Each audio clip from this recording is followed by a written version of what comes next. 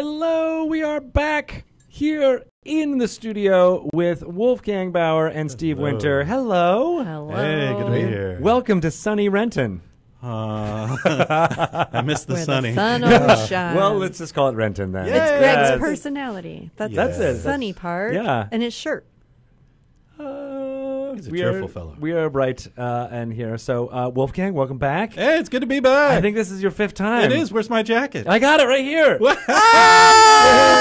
Five Timers Club. Five Timers Oh Club God, jacket. It really is a Five Timers Club jacket. I know. You guys, Oh that my is awesome. God. I was kidding, and you were serious. Pelham went and darned it uh, in the break. Pelham, well done. Well darned. Got his loom out. It's so awesome. He got the spinnerets of his spider that he's There been is milking for nothing weeks. he Ooh, can't spider do. silk. Man, that is even cooler. Yep. Uh, Fresh no from the problem. Underdark. It's uh, it's always great to talk to It's a you. pleasure to be here We- every single time. We saw you at GaryCon. That was very nice. Yeah. To be, to be Yes. like, oh, I know that guy. Hey, I know those people. Yeah. yeah. That was a good show. Working hard. Uh, yeah, actually. Yeah. There was a lot of work. Uh, it was a busy show. It keeps getting bigger and bigger. Something about you know the town where it all started, and Mm-hmm. Gary's family, and uh, just such a great event. So Yeah. Absolutely, absolutely. It's And then welcome, Steve. Thank uh, you. You're in the First Timers Club. Uh, yeah, You I get a guess mug. if I've, if I've been here before, I don't recall. That was a good one. Nice, but uh, but uh, yeah. So uh, you are both here because you worked on uh, uh, the Ghost of Saltmarsh My product. God, you ambushed me with this. It's right here yeah. in the this is- studio. they haven't seen it until the this very last moment. time we I saw got the it, I got yeah, the snazzy cover Steve one. The got the snazzy one. cover. the fancy one. It's shiny. It looks amazing. It's smudge proof or scuff proof. Scuff. proof. How much of this can we show to the cameras? Uh, you can spoil anything because you Really? Well, I mean, Really? Yeah, why not? All right. Well, I know the, Shelly got real nervous when she showed it, but why not? I the title page I think has already been spoiled online. It's the cutest thing ever, It is right? the Yeah. cutest thing. Oh my God. Straight out of the Seattle Aquarium. Is that a lot of research trips down to the Seattle Aquarium? Just to hang out with them, all Please the tell otters. me these aren't, they're not bad guys, are they? yeah, they'll eat your face. Hmm Yeah. Really? No, I Rabbit don't- otter? No. Also, Yes. otters will just eat your face too, but but they look cute doing it, and that's all that matters. Yes.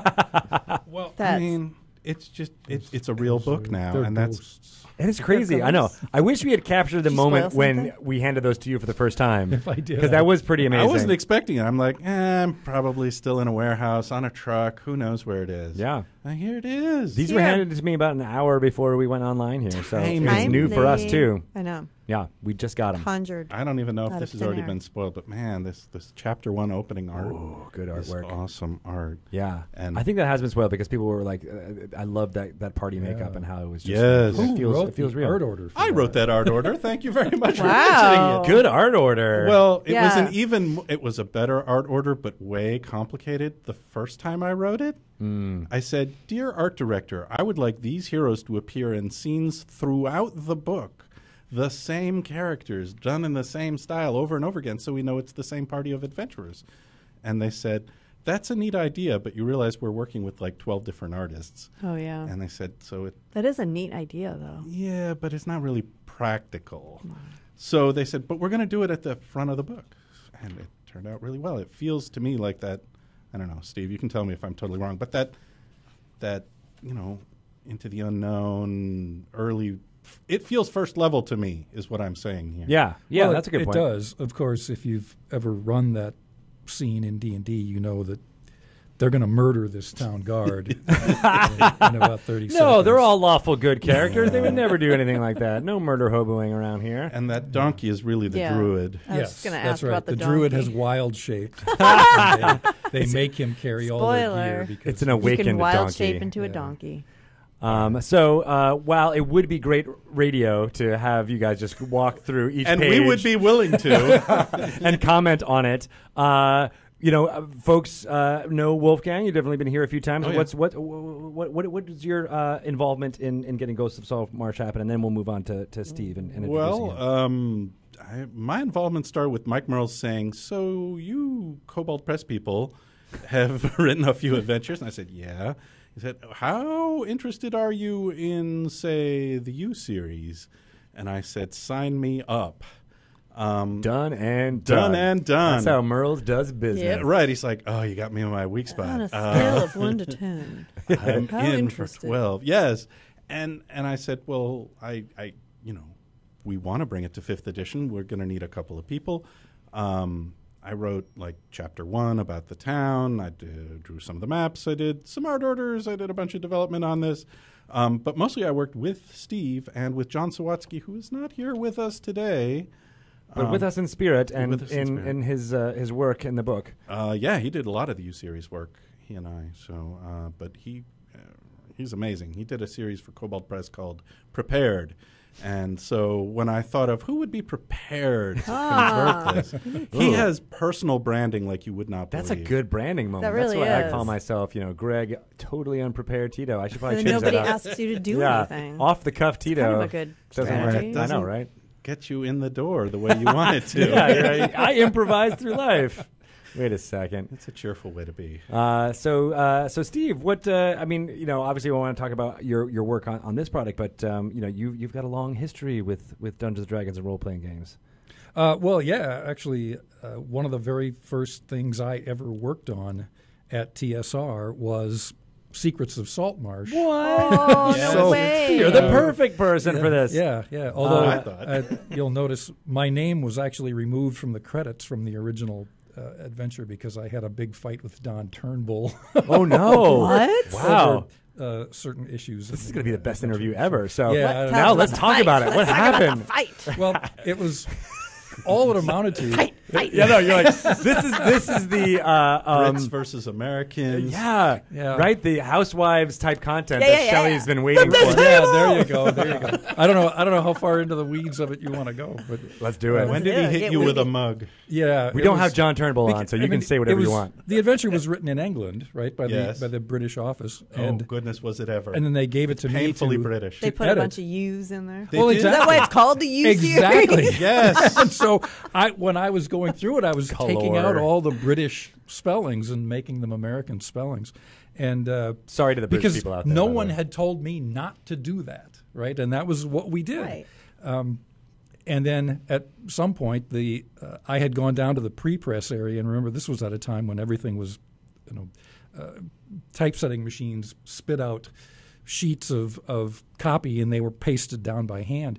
And I went, and we were in third galleys that had already been proofread a couple times, and I went down to pre-press, and there was Don Turnbull making corrections on final pasted up galleys. He was going through and basically putting all those U's back into all No. these words. Yes. And Because um, that's it- exactly the moment you want to make extensive changes to Well, the exactly. But none of the It was- other books were had the British British, spelling. So just, I mean, for consistency. right, right. Well, so seems I. Uh, I said some things, and Don What did you say? said I some want- things. Well, I- like- I- You, yeah. You are a you user. you. I uh, yeah, I told Don he could not be making changes like that at that stage of production, and Mm-hmm. he you know uh, brought in some other people's names and you know the, all of his high-powered friends. Oh, The dear. And, uh, Queen was mentioned. The Yes. Queen. I know. Yeah. the, Oh, I well, know the royals. Th- This was before the time of the Queen. This was when the Oh. King was still in charge of everything. oh my goodness. And, God, uh, wait, what? What? No. The Queen of England? no, I think we're, he's talking about a different king and Oh. queen. right, Oh. I'm talking I the King and Queen of TSR Oh. rather than the I know King who those people are. All right, yeah. Others will have to Yeah, look. I Like know I've seen the crown. I think she was in Lots power then. I immediately went to Tiamat, but No, but Not Lolth. All Not hail. Lolth. the the Don't long tell story short, Don got his way because Don knew the king, and uh, Oh, but Don didn't get his way because in the new edition, I took them all out. and you're back in the credits. yes, and, And- you're in the credits. But the the the coda to the story was uh, my good friend Steve Sullivan, who worked in the art department, made. He drew a little pair of pixie wings on uh, parchment, like translucent parchment, and he come up and he he, he uh, pinned them to the wall uh, in my office over my desk with a little sign. That said, "Pixie wings to be used when dusting British manuscripts." Oh. That is some fantasy That's a- shade. Yeah, fantasy tea. Yeah, so those, those hung on my wall for years. fantasy tea. and British, too. yeah, that that sounds like a flip table. I mean, that's, that's pretty close. Taking out somebody's name in the credits is the equivalent of a flip table. and calling much someone I was, a prostitution I was not whoa. pleased. Yeah. Mm-hmm. Well, again, we, there's finally justice in the world because your name is is Yeah. all Right. over this. Restored. Restored. Yeah. rightful place. So how long had you been at TSR when this project uh, uh, was going on? A few months, I think. Oh wow! So this was kind of like your the first. new guy. Yeah. Big, big It wasn't deal. my first project, but it was one of the first. How did you get involved with uh, with TSR, and, and were you a, a player before that? Oh yeah, yeah. I'd been playing D and D for quite a few years, and I was working on a newspaper in uh, Peoria, Illinois. Peoria. Yeah. And I went into the hobby shop and picked up a copy of Dragon magazine, and there was an ad that said TSR was looking for editors. And I, s- that said, sounds "Hey." like a lot of fun. and so it's a really pretty mundane story. I saw a help wanted ad, and I answered it, and I got the job. It's Do so they give you funny. lots of tests, editing tests? Uh, blood tests? Yeah, yeah. I had to. In fact, they so they sent me home with a an editing test, and it wasn't that long, and I completely chopped it apart.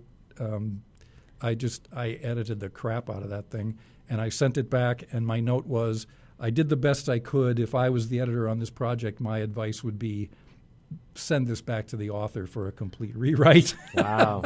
and uh, and then when they hired me, the first thing they did was give me that manuscript to edit. And, Oh, like it wasn't even a test. It No, was it wasn't. No, we it- just, it's we're like- just going to interview a bunch of editors got too much to manuscript get this read. manuscript right. uh, no, that became that became uh, the secret of Bone Hill. So Wow. Oh. That's pretty cool. So you didn't send it back for a rewrite. I did not had get to edit send it back to the author for a rewrite. They told me just Fix it. Just make it. Do you fix it. remember when you were my editor for a spell? Do you remember you Mhm. edited the, the yeah, confessions yeah. You columns? did your yeah your columns. Did you ever want to tell me to rewrite? the no, damn no, Shelley. Those were I. That was the easiest work I ever had. Wow. because he didn't actually read them. Is is, is, the, is, the, is the hundred dollar bill getting slid over on the table? He reread your columns multiple times just to trip lightly over the prose That's once right. more. That's right. When I was struggling with something else, I would Oh, I'm gonna up read this one of those confessions columns. Let's listen to her talk Read about that. her dog. Everyone Devil dog. dog story. yeah. Devil dog. So, uh, uh, so uh, talk a little bit about your um, uh, playing because I know that's always kind of re- fascinating to me what it was like to, to before you even were working on it.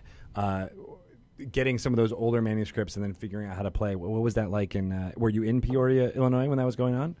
Uh, I got uh, no, I, but I was introduced. I discovered D and D when I was at, going to college in uh, Ames, Iowa. at the, Okay. Uh, Hotbed Iowa of early yeah, RPGs. Yes, Iowa State University, and I was. Uh, Again, I was working on the school paper and I was proofreading classified ads. And one of the ads was for the Iowa State gamers, and it said, you know, we, you know, we get together on Saturday afternoons, we play all these games. And I was a war gamer at that time. I had Oh, never okay. even heard of role playing games, but I thought, well, I can go find you know people to play war games with. And then I showed up, and of course, no one was playing war games. Everyone was sitting around playing this thing called D and D that I had never heard of. So. Nice. what was that your was first fun. character? Do you remember? Uh, my the first thing I ever played was not D and D. It was Gamma World, Oh, Cool. and uh, yeah, I do remember that character very well. I played a six-armed mutant who had. Sounds about right. Yep, That sounds Yeah. like Gamma Yeah. World. Yeah, exactly. First thing he ever found was a big chest full of lightsabers, and then the second thing he found was an ancient warbot that blew him to pieces. Oh, So Nice. he- yeah, he lived about a, about thirty minutes. So I feel like that. but there's like there's like General Grievous, uh, uh, Yeah, you know, yeah, threads in there in that character exactly. Yep. Man, they're hardcore names, Iowa. There. They kill you right out. killed a new Yeah. guy. Very See quick. if Nice. we'll come back. So how did you two meet? Wh- How did you meet Steve? At TSR, I believe. I was working on the magazines, and Steve was working in the uh, in the design department. I forget what your title was at that time. You were When was that? Eighty something. no, I didn't get there till ninety one. In 91, that was the year I spent sequestered in a room with Jim Ward working on special projects. Oh, What special what were project? the special projects? Um, You well, can- you we. can spoil it now. It It, doesn't was- yeah. Yeah, at this point, it's Yeah. probably n- We not were- NDA'd any longer. No, no, but we were supposed to just generate ideas. And I- I thought we came up with some brilliant ideas. And the only one that ever made it into production was, of course, the one that the executives brought to us and said, do this. And that was Spellfire. Sounds like just an excuse to keep you guys. Yeah, right. Locked we in a were room. right. These guys, They weren't going to use any People of will get angry if we fire them, but we we don't want them touching anything anymore. so. Or any of those ideas, like, do you remember them? Anything that would hold up today? Bring it back. Dust it Shelly, off. Shelly wants to pixie sequester you in another room. I yeah, think. yeah. No, I. What were some of them? Um, seems like there was a there were some dice games in there. Jim had a great idea for a game that would be played using baseball cards. Whoa. Right? So you didn't. We didn't have to produce any cards. Whatever baseball cards you had, You you could play this cool little baseball game. I did Um, that when I was a kid. I kind of made like a little little game. I think I even used polyhedral dice for it because I was like, oh yeah, if, you know, single, Mhm. double, strikeout, but whatever the dice rolled, that I would, and then I would move them around the bases based on that. Was some, something similar? Yeah, yeah, very much like that. Huh? Um, and of course, the Cute. idea It was around the same time, I think. Too ninety one. I think they they might have stolen your They idea. stole. Wait, did That's we have a mind connection that I didn't know about? Am I Steve Winter? We yeah I, we got this memo about you know keep an eye on this Greg Tito. guy. Yeah. we think there's some real genius here, and we want to we don't want to pay for it, but we want to tap into it. Nice. All right. Well, that's it worked. Eh, except unfortunately, we never published the game. So the idea was to license it to somebody like Topps or something. like Yeah, that. right. Which makes total sense because I mean, baseball cards was like the hugest thing in the Yeah. world back then. I remember Oh, everyone yeah. being like, "Keep all of your baseball cards; they're going to be worth something." And then You'll who knew? retire on those. Yeah, right. It was like comic books too. Like, that was that was the big story. But who knew that it was going to be magic cards would be the actual thing that would be worthwhile twenty years later? Yeah. Crazy. Uh, so yeah. So what? So you came in around ninety one, Yeah. and then And you would know, you guys ever work together or? I don't know. Did we work on Al Qadim or one of the? Well, I was the product manager on Al Qadim, so, um, So- yeah, we had overlap there. I was writing stuff for your group. I was Yep. freelancing my Al Qadim because I was doing periodicals during the day, and then Mhm. writing uh, Assassin Mountain and those sorts of things at night. Yep. Yeah. Man. What was that Hard like? working. Yeah. And this was at the office in in, In Lake Geneva, right, yeah. right? Which we just were all at, You- right? mhm. You were there too, weren't you? Oh yeah. Yeah. Fantastic. Don't want to miss Gary Con. No, right? It is that reunion thing. It really Yeah. is. Yeah. It was What's good to be back for What's sure. What's it like going back? To have, is it to fill? Does it fill you with good memories? is it like a high school reunion where you realize "Oh, Well- I didn't like you then and I don't like you now? Table flip. I see where you're going with this. Fight, right. fight. We're going to get a table flip in here before this is one. over. One way or another. I think so. I think that's the that's like the five timers club. Oh, table all flip. right. well, if I get a free pass on the table, We'll do a food fight. It'll be great. Yes. I mean, it's fun to go back and see everybody, but it's also really weird. Like, I don't recognize parts of Lake Geneva anymore Mm. Yeah. because there's like Walmart and things that weren't there at the time. I, I get lost a little. Yeah. Um, but I mean, the you know the the location where the convention is, the the Grand Geneva, um, used to be way outside of town, and mm, Now- now, it's like Oh, the, interesting. the town comes right up to the edge of Yeah. the Grand Geneva. So I that like was it. I did I thought I was in the wrong place when I first got there. This. Uh, is the actual offices is still there, right? It's still a building. it's still there. It's still a building. I, I, think drove past empty, it. though. Is it isn't where it? the the chocolate, the, or the candy shop is now on the bottom floor? I saw. Oh no, that's the even older. That's, Okay. Yeah, that's the old That's the old the- Hotel Clair downtown. Okay. That's where the Dungeon Hobby Shop was, and Yeah, like yeah, Dragon yeah. Magazine Right. for a while, um, before my time. Uh, I'm thinking of the Sheridan Springs Road thing, which is like a, a warehouse and a one story, two story office building. Yeah, yeah. I th- Um, but I think that may be the last time I looked at it. It was empty, and I think it might still be, or at least part of it was empty. Well, I admit I cruised past it and there were people parked in front of it. So oh, I so don't know. well, good. Maybe they Maybe uh, they found somebody rented it out, in. but Yeah. all the stuff we remember is you know long gone Oh, from yeah. there. So Yeah. um, I'm waiting for the day they put up a Gygax memorial statue or a little more of that, but I understand that that's fraught. so There's some things. yeah. Yeah. Uh, we'll we'll flip some tables about that later. Yeah. Nice. Well, I mean, it's awesome to have you guys, uh, you know, here. What was about uh, going back to the the Ghost of Saltmarsh stuff and re, you know revitalizing the U series, bringing it up to fifth edition. How, you know, talk a little bit about that process and and how it worked. Sure. Uh, I can talk about the early days of that process. Originally, it was well, we want to do Saltmarsh and some other stuff.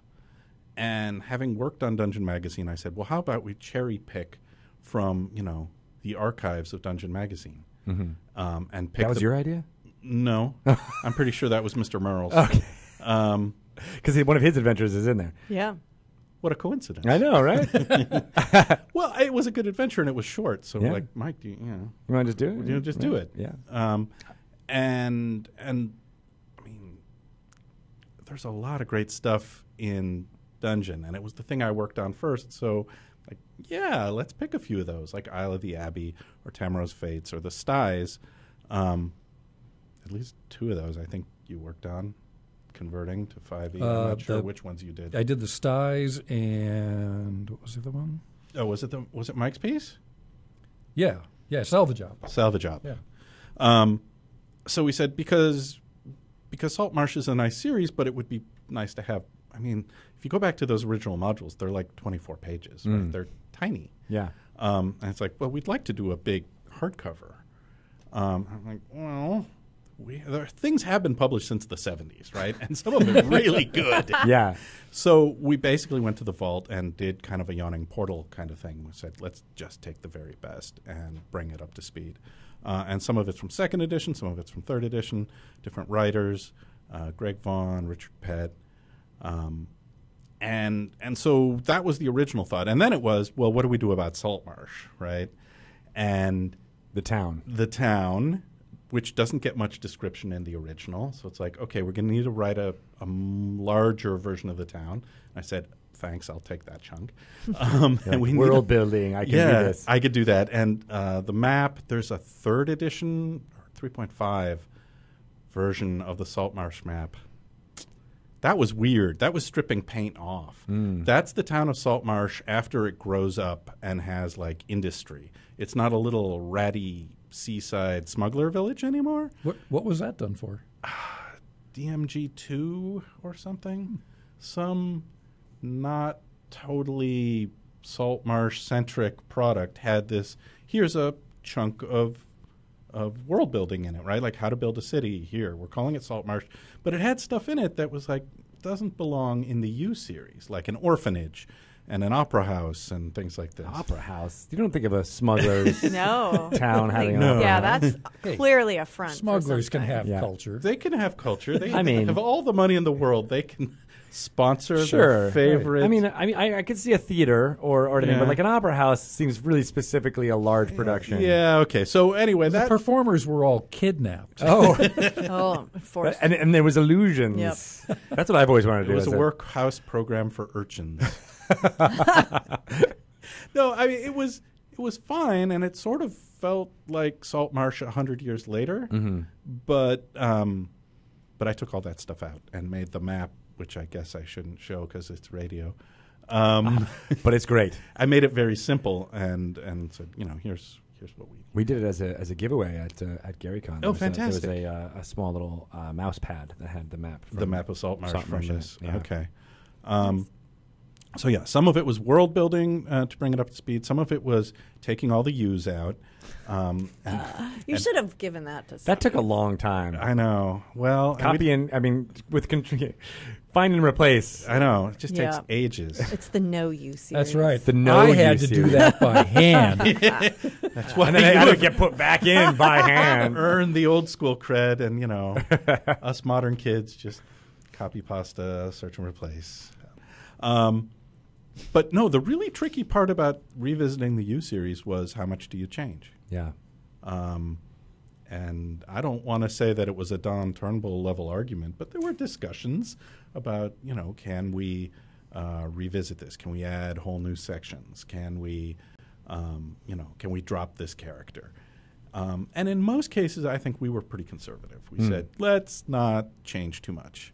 Um, Is that is that why? Is that the reasoning why you don't make those changes? Because you don't want to take it too far away from the original. well, this is why it was an argument. Like the Wizards team was, don't change too much, keep it true to the original spirit. Okay. and I don't know. I think you and I were on the same page about this. I know John Sawatsky was like, I want to change a few things, right? Like make it better and restructure it and change the prose. I'm like, mm, how far? It's a fine line. It's hard. right? Especially when it's written in a very British English, and it's. Uh, I mean, people who played this to pieces years ago have very fond memories, and they want all the same NPCs to be in there. yeah, I, I mean, I've heard from a surprising number of people who say that you know those old U modules were their favorite modules of all the early D and D stuff. Because of all that flavor that was in there. Oh, who knows? but I think the third of them is kind of a grind and a crawl, but that's fun. yeah, right? Like the early ones, they're smugglers. There's stuff going on. I don't know. Um, Yeah. the last one is pretty combat intense. So, so what was it about um, these adventures that was like the core tenet? Like, what was the thing that you're like, okay, we could we could change this, but like, what what was what was the core of it that you couldn't, you know, that everybody was agreed couldn't be changed? Can't change the maps. Uh, the dungeon maps those Mhm. stayed the same. Yeah, but more thematically, like what what, what were those? Thematically, I mean, it was a pretty straight like keep the pros the same unless there's a good good reason to start monkeying with it. So we Mm. added things, but we didn't take much away. oh, all right, that, that was sense. kind of the approach. yeah. And if you don't notice where we added stuff, that's great. It's like, oh yeah, I remember that from 1970. Do Oh, you? Do you really? yes, exactly. so Well, and, and a lot of the adding, I, I don't know whether it's true in the adventures you were working on. Um, for me, a lot of the adding was, uh, especially when you're going back to, uh, you know, a- adventures that were written for a certain certain for a, a certain philosophy of D and D, and Fifth Edition has its own philosophy in terms of how much detail you go into for the DM when you're setting up an encounter, and and so a lot of it was kind of, you know, bringing things up to that Fifth Edition philosophy and saying, all right, eh, you know, we. In the old days, it was okay to leave all that up to the DM, right, to do however he or she wanted. But Mhm. you know, nowadays we try to be a little more, a little more uh, specific on a lot of these things. Um, Yeah, I mean there are. It's old enough that there are encounters that are pretty much uh, a room description and some hit points, right? Like Mhm. it's there were some that were very bare bones. Um, Because they're skeletons. Good one. yeah, yeah, of the course. skeletons Yeah. were oddly fleshed out. Oh, funny, funny. Very flashy. Uh, but yeah, there, I mean, you know, it's called Ghosts of Saltmarsh, so I think a lot of people are assuming there's there's some some undead in there, and then the Sahuagin feature pretty prominently on the Uh, covers and the oh, artworks mhm. that we're putting out there. So that's something really I- I- exciting for people to, to look into. It's heavy on nautical, but I mean, there's also mucking about in the swamps. Oh, no one likes swamps. No one likes the swamps. That's always dangerous. Um, and then there's these related adventures, some of which are island adventures or That um, sounds nice. yeah, which you know, easy to sail to. And I want to go on an island adventure. You just did. peninsula adventure. a Same. peninsula adventure. Oh well, I was in the potions all come with a little umbrella. stuck in them. Yes. oh, man. I want those potions. Yeah. Sip, sip, sip, sip. We need umbrellas. We need umbrellas for our coffees Yeah. from now on. Uh, so that's very cool. And then the one thing we didn't carry over, I guess I'm going to spoil this. Like we did, there are monsters in the original U series. that- Spoiler. yeah, spoiler. There's monsters. Yes. No, Oh. that's not the spoiler. Oh, oh, okay. Go on. Um, we, we thought about doing some monsters that are specific to swamps in Greyhawk and so on, but um, but the monster converted stats are pretty much things that appear in the adventures and NPCs that appear, not any of the sort of secondary stuff, which doesn't. Some of which was random encounters in the swamp, and we didn't do those. Because it was just been, you know, too well, much page like- count, that type of thing. Eh, it's like, well, oh yeah, that was Right. good. Um, sorry, I'm still just No worries. uh, it's so beautiful Steve, to see I, this I book. think Steve, you worked on. Um, I mean, correct me if I'm wrong. With the the appendix, uh, ships in the sea.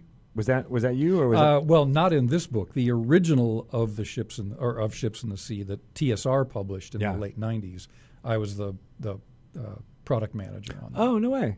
Okay, I didn't realize that there were that that was a product. Honestly, Mhm. uh, that was that was a, a gray area for for our black hole for my my D and D See, fandom was in that period. spent six months doing nautical reenactments with Jim Ward. In a In locked room. locker room. That's locker right. room. That's right. We flooded the whole room. Everyone underneath you was Yeah. complaining. They're like, ah, there's so much water coming in through the ceiling. um, but yeah, what was that like? So, and, and, and I didn't realize the echo of the appendix name in here is from that product. Mhm. Yes, that was uh, uh, Skip Williams. I think was the main author on the original book, and but it was you know uh, everything you could ever want to know about putting ships in your D and D campaign. Um, it was it was one of the they were called the leatherette books. Yeah. remember? this was one of the blue covered leatherette books Oh, for okay. DMs. Right. The- It was one of the last ones we did, as I recall, before uh, everything moved out here. It was like the complete handbook to elves and, and Mhm. those, those. Yeah, that- exactly. Yeah, those, ones. kind of Yep. books. Yeah. And I mean, Ghost of Saltmarsh. Yes, there are many fine adventures in it, but that section in the back of monsters and ships and ocean rules is super useful for anybody who's Yeah. running anything vaguely nautical, right? Um, Yeah, that's what I keep going back to as, as one of the coolest selling points of this book is that like, oh man, like you could use this anywhere, and people, you know, pirates have been popular in recent years, uh, and that whole type of uh, of, of deal. Uh, so having the ability to to run a campaign in that uh, in that vein, uh, yeah, well, the Isle of the Abbey adventure in here has some pirates, so Mm. I mean, we're Ooh. even, yeah, Cool. we're we're we're touching that that topic, that theme, and of course you want to do pirates well and with a, a well tested set of rules. I know this went through the usual process of Unearthed Arcana, massive feedback from fans. for sure. Um, Yeah, right. That was that appendix was up, I think, in December. Uh, Yeah. of of 2018 to, for people to get feedback on. Yeah, I, Um, I haven't had a chance to look through this appendix. Yet. I'm I know it's all changed. All of your work has changed. I'm sorry. I, I, The, the user back. The user back. they put all the U's back in. no, table flip. my legacy destroyed. How- Is this have- stuff all new? The boats. Uh, looks new. Okay. Uh, have either of you run uh, seafaring campaigns that was all about going from island to island? Spelljammer count? Yeah, it totally does. All right. Well, I played in a Spelljammer campaign in, in grad school. I had a blast. I, I didn't mean to. I went in. it was an accident. It was an accident. I'm like, oh, spacefaring pirates. Am I really going to enjoy this? Whatever. I trust the, the game master. It's going to be fine. And we had a blast. We hopped from planet to planet. We looted everything. Eventually, we got gunpowder, and things went, you know, Even crazier. yes. It was good times because you know the ship is your world, your crew is your companions. It's it's a party on uh, on Oak, and we we ran out of room eventually. Price on our heads, and uh, yeah, we ended with a, a flash of glory. Nice. Yeah, As in the boat exploded. yeah, Good. pretty much. like. That's the only way to go. Yep. Uh, what about you, Steve? Have you ever uh, played or ran in a in a campaign that you know could be used in a book like Uh, this? not D and D specifically. Uh, I was in a uh, in the there's a game called Savage Worlds that has a setting called Fifty Fathoms, Nice. and I, I played in a Fifty Fathoms campaign that went for I don't know two or three years. I Oh think. wow. So um, yeah, uh, other but in D and D just small adventures. You know, I mean everybody's gets on a boat at some point, Right. Fights off the sea monster. What do you think? What do you think makes it uh, compelling to? Ha- I mean, uh, you know, obviously the what you were just talking about uh, having the party on a boat and going from place to place, but like, you know, w- what what should a dungeon, dungeon master think about when they're thinking about running a campaign like this? it in a in a nautical campaign, anytime you give the players something like a ship, mm-hmm. you're handing them a huge amount of freedom. and the first thing they're going to do is sail that ship to some portion of the campaign map that you have never even thought about, mm-hmm. let alone planned. Right. So that's the main thing. You know, once you once you turn the the players loose on that, they are gonna find ways to make your life miserable. You know, Interesting, because I might think that something set on a ship would actually make it harder or have less less flexibility because you're on you're contained on a ship. But Right. what you're saying is that it's just the boundaries are As long as they're allowed to steer, you have this problem. But right. It's Yeah. not on rails. It's the opposite of on it's rails. Yeah, opposite it's of on completely rails. opposite. Except there are ways around it, right? Like the salvage operation adventure in here Yeah, can played take that place anywhere, Mhm. right? You, as long as you're on a ship, you can have that adventure. Yeah. Um, and it's a bit of a deus ex machina, but hey, there's a storm, right? You don't wind up where you think you're going to wind That's up. That's right. You can always do the Yeah. Gilligan's Island Do route. Yeah. Gilligan's Island. Blow them off course. Then all of a sudden they need to meet the professor and Marianne and build a raft. right. Yeah. And I think what's interesting about this book in particular is that it, it can. ins- I mean, obviously, you can use those adventures, and you get, the the final product has a way to, you know, take it as a campaign from level one to level twelve Yep. if you so choose. But each one of these adventures can be placed in any campaign and in answer to something that you're talking about. Like if you know, oh, you're going in the way I didn't have anything planned for. you find a boat that's listless and at sea, and it's you know okay, what's at the bottom of that boat, or or Mhm. you know some of the island adventures that are in here that you can just plop Yes. in Sure. as not necessarily filler content, but just like okay, I didn't plan for this, but I can use anything from this book uh, in, in the ocean. Right. I mean, like the, the adventure, uh, Mike Mearls' adventure salvage operation is the way the adventure is set up.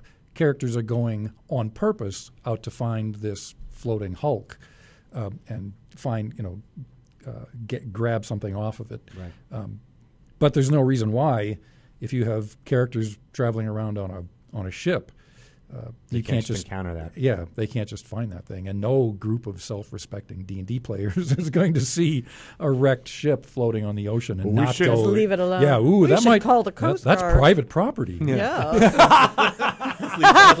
the maritime Said law no about this? D&D uh, player ever. Pretty Yeah. much every dungeon is about trespassing, right? It is pretty much. Yeah, you're not supposed to be there. Um, and, and I mean, and I when I ran Salvage Operation at at GaryCon, and I placed it uh, at Port Nyanzaru in Chult. uh, was Oh, like it was the, was the leaping off point. I was like, oh, this is great. Oh. It's so easy. Interesting. You can you can put it into uh, any campaign Yeah. very simply. Uh, But there's other adventures in there that you can do that too with as well. oh yeah, um, the Styes is pretty much any town with a seedy side. Um, Yeah, which is every town. yeah. They really the characters don't actually. The only boat they get on on that particular adventure, I think, is hanging from a crane. Oh. Yeah, it's a port town, but it's not the most right, nautical it's a, of right. the It's a port town, but the adventure itself doesn't take place on a ship. Right. Uh, it has a lot of it. It wouldn't work if it wasn't on the coast. But Cool, cool. Yeah, I uh, uh, I'm looking forward to. it. I mean, I think something with with with nautical themes is one It's kinda- overdue. Yeah, it's one area in that Yeah. fifth edition hasn't Mhm. really uh, covered a lot. I know people are, are excited for it, Oh man, the art. and the art is always going to be Behind fantastic. every good piece of art is a good art order. well, thank you. I mean, oh man, look at this thing. Look at those art orders. Yeah, Just man. coming Ah, this life. is some Haunting the good radio radio, button. right here. I Yeah. know. Whoa, look at that. Oh, wow. the oh best. my god. yeah, So, uh, uh, you know, at, the, like at the risk of talking too much about Saltmarsh, although we No, totally could, I think you've got some other fun Yeah, stuff a that you, that you brought to stuff, show. yeah. I did, and again, this is going to be perfect for radio. The first thing I want to tell you about is something from the Dots RPG project. They do books in Braille. Love it. I don't. I think you had Jess Dempsey on your show at one point. we have not, but I think we're we're working on it. Oh well, you should because I have brought with me the Tome of Beasts, Volume One in Braille. That is amazing. which this is how they do it. It's sort of a spiral bound never book. actually seen it. Yeah, or, And- or, or felt it rather. homebound. the original book, of course, is 400 pages, new monsters, right? But I know I love it. they they do them alphabetically, basically. Like here is letter A, and it's one volume because Braille isn't as space efficient. Mm-hmm. But yeah, it So just this is blew my this mind. is not the entire Tome of It's Beasts. not the entire Tome of Beasts. That basically would look like a set of encyclopedias. It would be Oh 26 God. volumes. Wow. But they're working on it, right? Like they gave me letter A to bring here. This is to- letter A. This is letter A. Just A. letter A. Yes. Okay. It's a huge spiral bound. It is a huge spiral for bound book. those who are, can't Two sided can't braille. I, I didn't know You can whether. watch the live stream. Yeah. Archives. and How do they do like typography? Like how do you do like headings? I mean, because I, I would assume with with monster descriptions, like it's all about how it looks on the page, right? So how do you do that in in Braille? I don't know. I'm asking the wrong person. you need to get Jess on this show. Yeah, I do, I do. We should also. Have, I I spoke with a, an amazing um, That is amazing. Dungeons and Dragons player by the name of Blind Temple.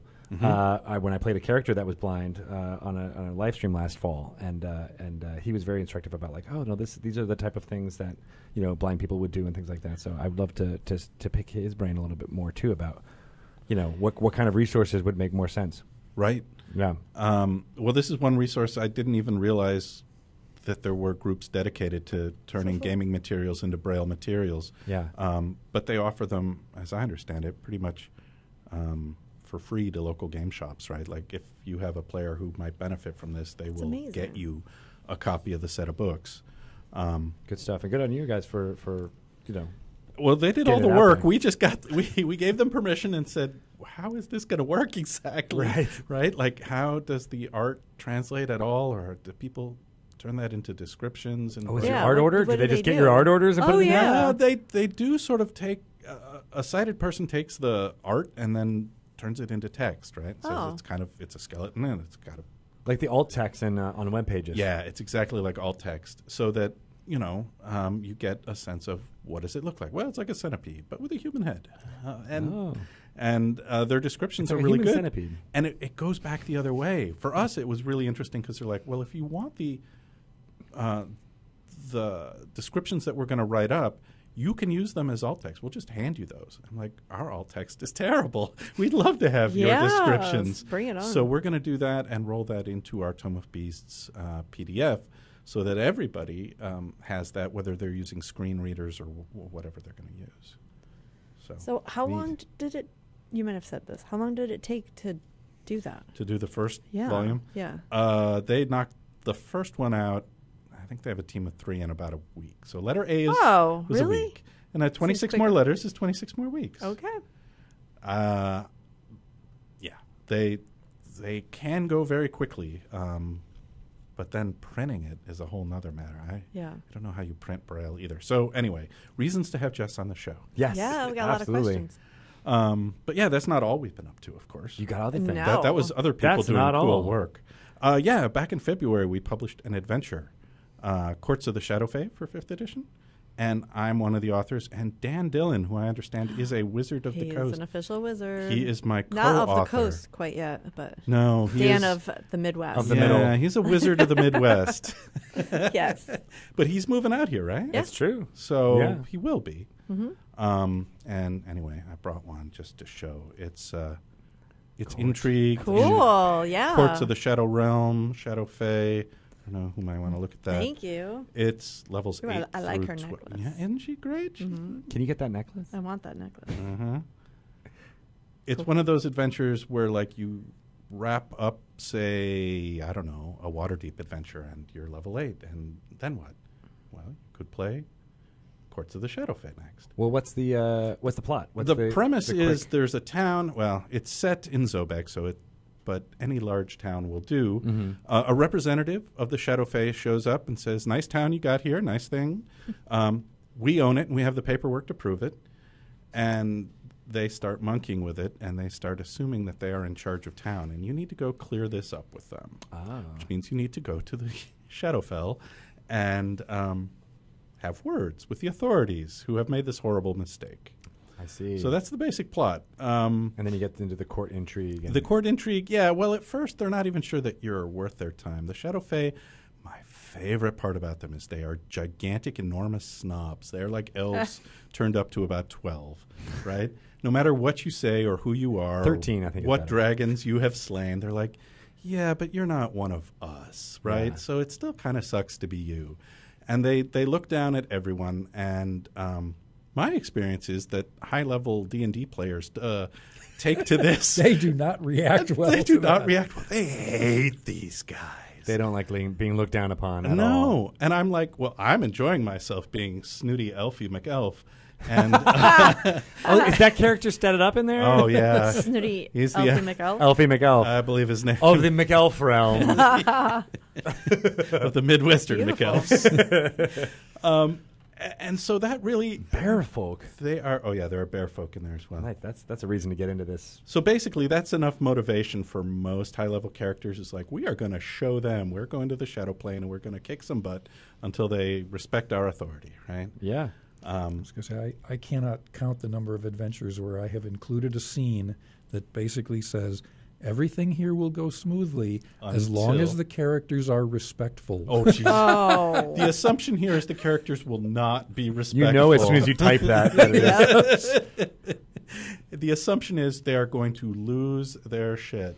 And that's okay. Mm-hmm. Um, because the Shadow Elves, this is the most irritating thing about them, is not only are they snooty and superior, but they kind of have the chops to back it up. Right. Oh. They Like, have the power, especially have- in their realm. They have tricks, like they're used to dealing with humans. So, like, you break out the barbarian and the fireballs, and they're like ready for you, uh, which only makes it worse. I like how you guys split up. Um, just as I'm flipping through here, like Act One, Scene One. Like, Yeah. it makes it a very Shakespearean feeling. It's really divided into three buckets. Like, there's the one in the city, then there's your first section in the Shadow Realm, and then there's the second run of the Shadow Realm, which there's a twist I'm not going to spoil. Oh, you almost did. You almost I did. wanted to spoil it, but like, oh, I'm it's so not good. Oh gonna. gosh, I love fig- this. I'm going to show it, even though it is not great radio. But the the bear folk uh, art here, I just I can't stop looking at. it. It looks really cool. I want to be a bear folk. Can I be a bear folk? You Yes. can. There I are want- stats for Bear Folk PC. I wanna That be a is bear cool. folk. All right, I'm See? in. I I'm want to in. be an owl bear folk. An owl bear folk. Is that in here too? Uh, no, but we really seem to have missed a bet. Maybe a supplement. So we actually sold out of the first print run. It's Awesome. available in PDF. It will be on Roll Twenty. It'll be Mm. on Fantasy Grounds, and doing a second print run. I was just going to say you're reprinting it. and I'm getting Dan Dillon to like sign copies, man. As you should. Yeah. Signed, autographed fanciness. So, just random question. Mm-hmm. When you are coming up with a new adventure, Mhm. and this one is for level 7 through 10? Was that right? eight through twelve, somewhere 8 around through there. 12. Okay.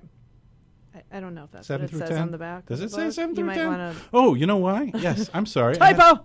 No, It does say seven through ten. Yeah, because the there was an earlier edition of this adventure. Okay. It was this might through 12. answer my question or Yes. be part of. Um, but how do you? What comes first? Like you say, like we want an adventure for around these levels, or you write the adventure and you're like, Well, we got to scale this back. This was written for. for fourth edition originally, Oh, and so some of the work getting it into fifth, well, Dan did a lot of it, and um, and Kim Mohan, who edits a lot of Wizards of the Coast Yeah. book, did a chunk. Um, we didn't really have a set level range. We were like, we have this fourth edition adventure. We just want it to be a 5e adventure. What level does it translate out as? okay. because a bunch of the monsters in Courts of the Shadow Fae are in Tome of Beasts or are in the Creature Codex. So we'd already statted creatures, Yeah.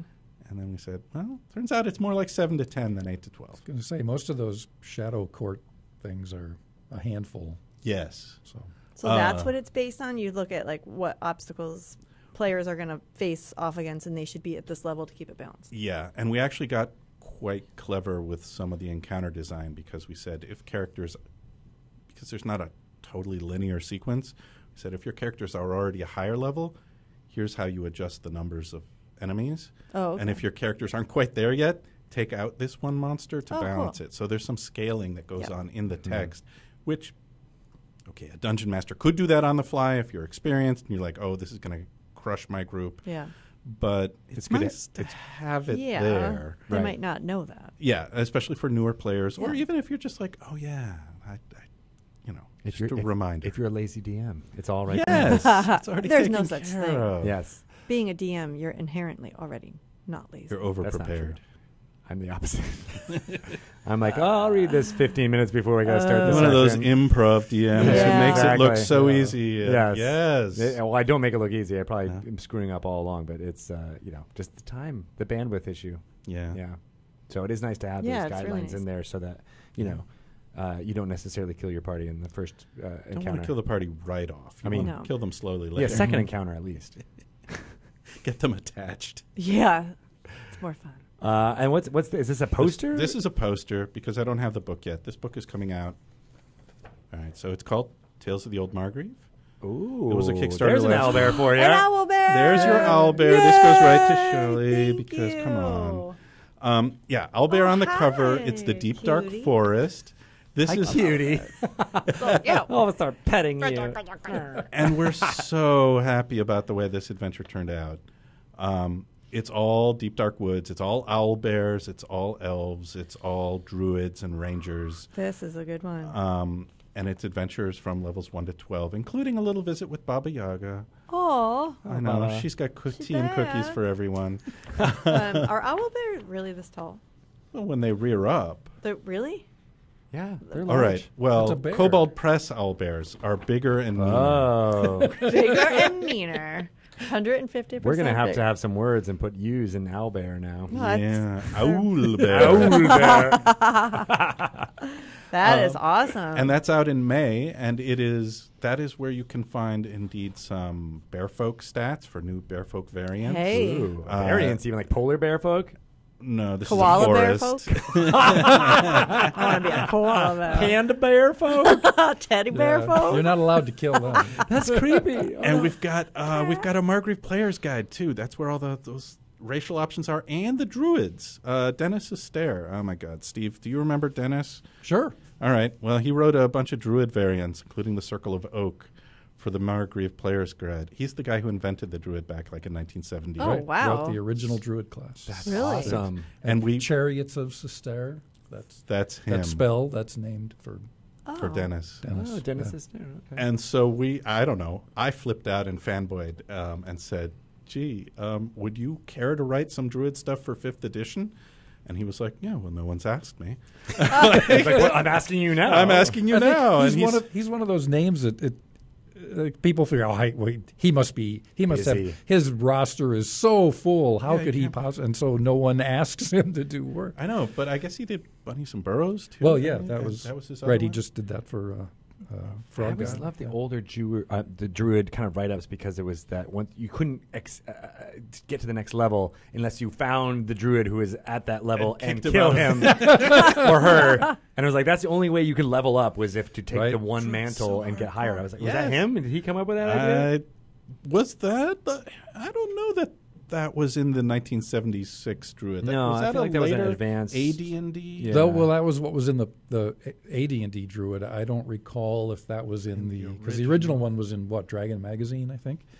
Yes, the very first Druid was. yeah, in Dragon uh, I don't know if that if they had that whole hierophant structure in there at that point or not. It was very evocative. But I was just thrilled that he did a bunch of new spells and a new circle and magic items, and I'm like, I remember reading that in the player's handbook and specifically not playing a druid because, Because it I would be was too like, much work. by the time I get to, I never had a character make it to 14th level to begin with. right. Why I was concerned about that, I don't know. Yeah, I was the opposite. that I was the opposite. I was like, to I want to play this character because it's like just getting to the next level was a quest unto itself, and I was like, that's that seems fun. I don't know why my twelve year old self was like, that's perfect. That's what I want to do. Never actually have done it, but uh, you know, maybe one day, maybe one day we will, as I'll be a, a bear folk and druid.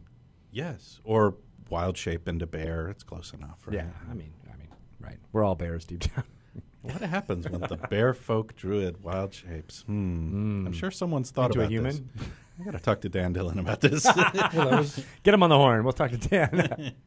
awesome. Was my, the Bearfolk character I played in your Oh, short-lived yeah. campaign was a druid. yes, he was. Oh, you were going to put this to the test, were you? Yes, I was. I kept, but I never got high enough level to actually be able to shape change into a bear from a bearfolk. So, Got to get this going again. we got to really run this I feel like experiment. there's some bitterness. see what happens. Never was that high of a level. uh, yeah. You killed me before I got that high. I know. Well, as always, it's wonderful having you uh, visit the offices. Oh, sure. uh, come down more. I want to see all this this fun stuff. Oh, and- No, you always and have a play pile of more D goodies. and D with I you guys. try to bring the stuff. Yeah, you bring it. You bring it. you bring it out to everyone in the audience and Uh, uh, to here in the office. It's too. a pleasure. So, you guys well rock. done. There's some amazing stuff coming out in like high volume these days. I'm real happy. The D and D team is so big. I don't know everybody anymore. I mean, you know Dan. That's good. I know Dan. He's my ringer now. He's Yeah. like, "Hey Dan, what's really going on over there?" Tell me what's happening behind the scenes. there any U's being put in any places Yeah. that I should know about? Tell me about the British invasion. I'm worried. Oh, the British D and D uh, is coming. We're going. We're getting into the UK and all around. So uh, this will be great. well, Let's play some D and D. all right. Next time you let's. come, let's do it. yes, I, I see you have the dice here. It's, we- we've got all the accoutrements uh, to make it happen. Ready. Uh, Steve, great to, to meet you and uh, uh, You too. know, have you here. And yeah, uh, I'm looking forward to Ghosts of Saltmarsh and everybody checking it out on May 21st. It's available everywhere. gonna Uh, look for it there. Um, how can people find you, what's going on with Kobold Press and you yourself? Oh, Wolfgang? sure. Well, uh, Kobold Press is at Kobold Press on Twitter, and we're Facebook, Whack Kobold Press on Facebook, and I think we're on Instagram now. Nice. We've got a Twitch channel coming this summer. Ooh, exciting. I know. A very small Twitch channel. Well, it'll actually it'll be quite nice. Yeah. well, if Um, you're doing any interview shows, you know, I mean, I think there's two we people. should have you on just I to see what happens. I mean, I know you want to talk to Ryan and Pelham Pelham. and Ryan are available. hey, hey, hey. in their spare hours. I know they're looking for additional. Yeah. Um, so all of those places, and me personally, I'm at Monkey King on Twitter. Nice. And Steve, what about you? Where are Uh, you at? I'm also at Monkey King on Twitter. well, the real Monkey King, If you please get in touch up. with me. uh, no, I'm uh, STV Winter on Twitter, and I'm on Facebook as Stephen Winter. And and uh, at one point I had a blog, but I don't keep it up anymore. So It was a I good think that the world is like that now. Yeah. Like everyone had one at one point, and nobody keeps up with it. Right. It's difficult. Yeah, I can barely do Twitters at this point. Uh, well, again, thank you guys, and uh, we will be taking a uh, a short break while we get ready to record some uh, lore you should know. So thanks a lot. Ooh, can we listen in? Of course. Yeah. I don't even know what we're talking about, Chris. Uh, uh, I threw a few topics at him. He's like, "Ooh, I have to research that." I'm like, "Okay, we'll do something you don't have to research. That you can just spout I off." I love that he can just. He's just filled. He's a font of knowledge Yep. for sure. Yep. Yes, as Excellent. are all of these uh, uh, fine gentlemen. So and women who who are working on the Dungeons and Dragons. Yep. It's true. All right. Well, we'll be back in a couple minutes. Thanks, everybody. Bye. Bye.